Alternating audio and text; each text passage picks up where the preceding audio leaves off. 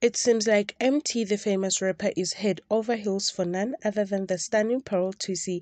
And what triggered this sudden burst of emotions? Well, it's all because Pearl decided to bless us with some sizzling hot photos showing off her assets in see through outfits. While some people are shaking their heads in disapproval, Emtee is definitely not one of them. In fact, he couldn't hold back his admiration for the beautiful actress. Taken to social media, he poured out his love for Pearl.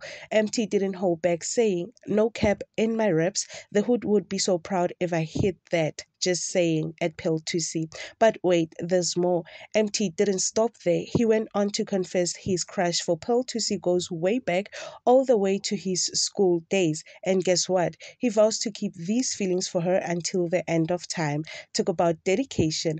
Emtee shared, I've been gushing since I was in school. I will gush till my dying days. So, what do you think, folks? Will this budding romance between Emtee and Pearl Thusi blossom into something more?